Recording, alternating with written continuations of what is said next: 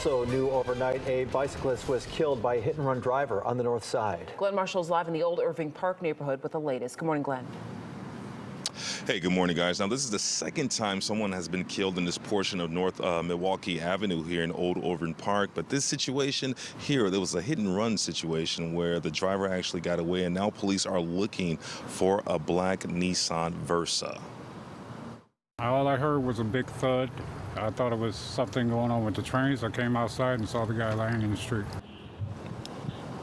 The impact of this hit and run alerted neighbors living on the 3800 block of North Milwaukee Avenue. You can see the back tire of the victim's red bike sustained major damage. Police are telling us around 9:30 last night, a 23-year-old man was riding his bike when he was hit by a black-colored Nissan Versa, similar to the vehicle police posted on their community alert. Now, that driver did not stop to check on the victim.